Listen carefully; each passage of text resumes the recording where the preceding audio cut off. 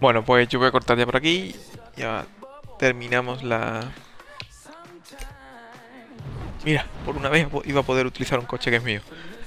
Cortamos ya la retransmisión de Twitch por hoy.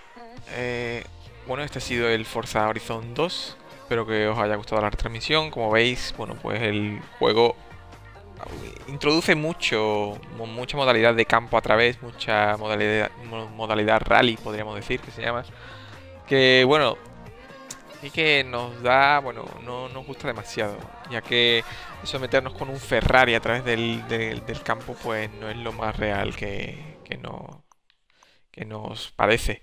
Así que, no sé, para gustos los colores, pero sí es cierto que, se abusa mucho de ese campo a través, ese de coger atajos, ver a todo el mundo por aquí por el campo y un poco de descontrol. Probablemente eso nos guste más a los, a los, más seguidores de simuladores de, conducción. Es cierto que, bueno, a nivel de realismo, los vehículos ofrecen un diseño y un modelado espectacular, súper real, tanto interiores como, como exteriores eso nos gusta muchísimo. Pero eso de la modalidad campo a través ah, nos da un poquito repelús porque se abusa mucho. Y es cierto que podrían haber introducido algunos circuitos específicos, con coches específicos, más preparados de rally, más adecuados para rally, pero dejar lo que son las carreras de coches y, y bueno, asfalto y carreteras normales para vehículos superclase como podemos encontrar en el juego.